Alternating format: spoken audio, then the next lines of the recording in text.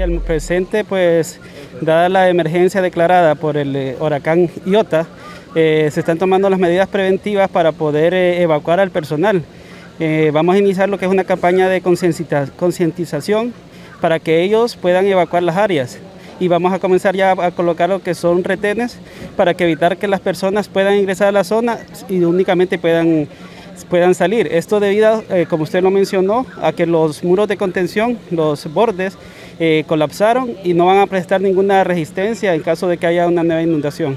Ahora, comunidad humanitaria y rescate, ¿cuál es la misión de ustedes específicamente? Nosotros estamos aquí en el área para apoyar directamente a lo que es el CODEN en, en las tareas de búsqueda, rescate y salvamento en todo el área. Tenemos equipos de búsqueda de guardavidas, especialistas en evaluación de daños y personal en operaciones humanitarias dispuestos a elaborar eh, y seguir apoyando a la comunidad que tanto lo necesita actualmente. Ahora, hace unos minutos se ha informado que está inundando la parte norte de Choloma.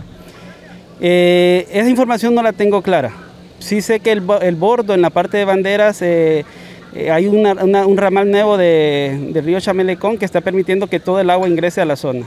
Entonces hay que tener las precauciones en la zona para evitar que haya más pérdida de vidas humanas.